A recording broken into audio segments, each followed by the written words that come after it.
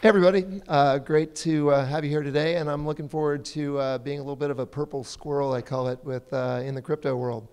Uh, so I'm going to talk a little bit about Phunware and PhunCoin. Uh, Phunware, though, it's important to understand who we are because we're actually about to be a 10-year-old company.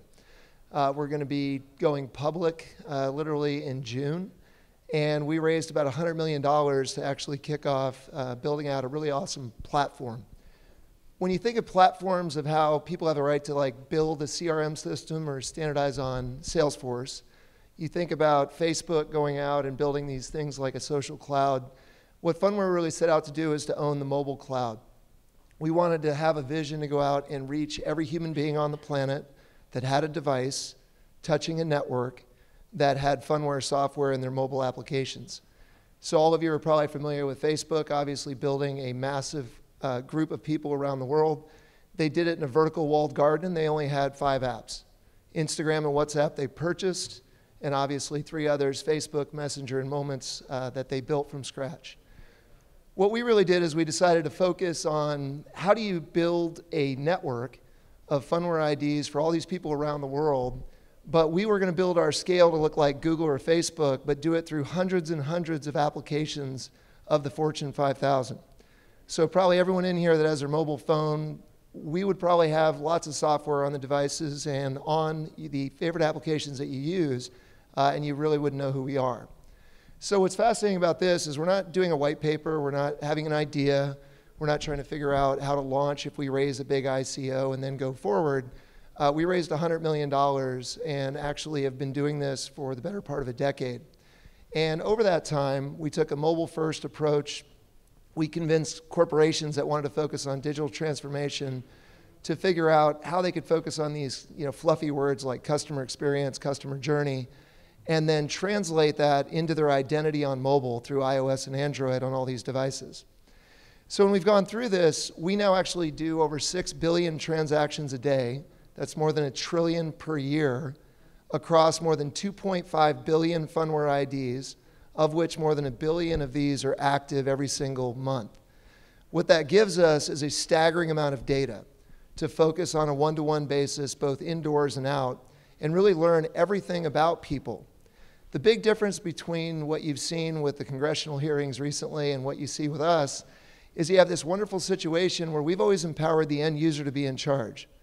You define whatever mobile experience you want, we'll give you whatever you want, and we'll stay out of the way. And those experiences for all of us are different, whether you're using a Starbucks app, whether you're using a Lowe's app, whether you're a patient and you're going to Kaiser. And what we've done is sat agnostically and said, you know what? If you're familiar with the Internet of Things being the sensors and the chips and the devices and the networking gear and the network, we're a little bit like the software of things where we're actually using the software and the mobile applications to show off how amazing all of that capability is within these networks. Well, as I said, we're, we're also kind of a guinea pig to the regulators. We currently have an S4 registration statement pending. We'll hear back from the SEC on that on a traditional go public motion. Uh, and then we'll open for trading as Phunware PHUN uh, will be the ticker symbol. But at the same time, we're now kicking off up to a $100 million token generation event. That'll be fully a Reg D compliant piece. And in the history of the world, there's never been a company with two simultaneous offerings that are both pushing $100 million, one for the public markets and one privately. So, the team we put together to do this, we've done this a long time. Uh, Luan, I jokingly say, is my Vietnamese twin, uh, and we've done everything for the better part of the last 20 years. Uh, we've built and sold three companies before, so it's no longer about the money for us. This is about creating a massive multi billion dollar company in the public markets and being a safe on ramp for the Fortune 5000 to the world of crypto and networking and smart contracts and blockchain in the same way that you became familiar with Red Hat as a safe way for the Fortune 5000 to bridge into the world of open source and Linux. Um, all the people we put together, uh, I did my graduate work at Georgia Tech for engineering and Berkeley for business. Uh, Randall and I are both ex Army Rangers, so uh, we really care a lot about, you know, we get to eat, sleep, see our family when we're not on the road and nobody's shooting at us, so it's not so bad. Uh, we enjoy going out and accomplishing big things. Uh, we put a team together, folks that did their graduate work in computer science at Stanford, folks that have built inorganically in addition to organically. And what's the point of all this? Well, the point of all this was to say, how do you simultaneously do enterprise software, media, data, and crypto, and have a pure play of the entire mobile ecosystem as an investment opportunity? That's what core Phunware is. So, since everyone likes analogies, if you think of core Phunware as Amazon AWS, providing infrastructure and software and data, our PhunCoin crypto ecosystem is a little bit like Amazon itself and will be the biggest customer of all this data and all this capability we have. We assembled kind of a who's who. We're part of the Draper network of portfolio companies. We've worked with Wavemaker and Wavemaker Genesis, uh, obviously Scott Walker and the DNA team. Uh, but we really wanted to do this the right way. When we opened our Telegram account, we put out five audited years from Ernst & Young on the financials of our corporation as if we were already a public company. Um, we wanted to do everything completely different and try to hold ourselves up to the SEC and say, this is how to do crypto right. This is the way to have the right people involved.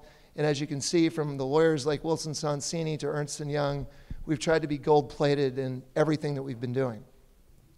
Now, what that's allowed us to do over this period is have a who's who. I've done a lot of startups. I've sold three before this one to Cisco, one to Level 3, and others. But we've been able to get some of the greatest brands in a who's who by vertical. And any of these applications that you have on your devices all have Phunware software inside. And what's the big point of what we're able to now do with this in the world of crypto? Well, as we got to watch the embarrassing amount of our congressman trying to interview Mark Zuckerberg and how shameful it was, uh, when you go into the Fortune 5000, it's marginally better. And it's not because they don't want it to be better, it's just because it's new. They barely learned the internet, then along came social, now along comes mobile. What is digital transformation? But we wanted to do is to change the game, and we think we will. We are going to use a sovereign self identity with biometric encryption on your device. So you get to get control of your identity and your data again. And you can opt into whatever you want to be involved in. And guess what? We're going to give you PhunCoin cryptocurrency in return. You could say, hey, I'm Alan, a 48 year old white male from Austin, Texas. I have these likes and interests. Or it can go all the way up to my oldest daughter is going to go to college in the fall and needs a student loan. I'm going to refinance my house in 30 days. I'm going to buy a luxury sedan in 45 days. And when you do this, each one of those segments has wildly different information.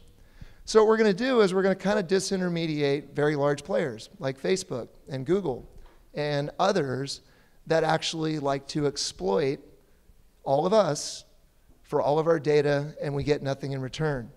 So, what we're going to do is use crypto as a means to empower you to get control of your identity, to control what data you want to provide, give you compensation for that, and then connect the Fortune 5000 directly into these segments in a way that makes sense. Uh, this has never really been done this way. And as you know, if we were doing 6 billion transactions a day, it would probably melt every blockchain that's out there. Uh, maybe some of the new ones coming a little bit different, but we'll see. What we do is batch up all that data, we memorialize it on the ledger, and we use blockchain and smart contracts to allow you to set the rules for the use of your data to make sure people are paying you in return for the right to use that data. And we think that's going to be very profound because it re empowers the world's population. Most importantly, it's going to allow us, through our PhunCoin SDK, to solve the chicken and the egg game. We'll be able to turn on tens of millions of digital wallets overnight through our own systems through our own customers that already exist and have been there as customers of ours for the last 10 years. Usually, it's not a new idea to say, I'm going to compensate you for data, but the issue is can you flip a switch and have more digital wallets in crypto without people even realizing they're in crypto uh, than Coinbase or every Bitcoin wallet in the world overnight? And that's what we're going to be able to do. So, when we do this, uh, we believe that we're going to actually have something very special, very new. We're going to have a pure play for people that like to invest traditionally through Wall Street. We're going to have a pure play for people that we operate a debt free company, uh, a company that actually is cash neutral next quarter, EBITDA neutral at the end of the year. And then once we finish all that, we're going to raise up to probably $100 million in crypto. That'll be non dilutive. The first 85 million is tax free. And we're going to be able to dynamically and revolutionize the methodology of us consuming data worldwide. Thank you very much. And there's some information for those that want to either get on the whitelist when we make this available. Uh, it'll be done privately through CoinList under KYC and, and things of that sort. Thank you very much.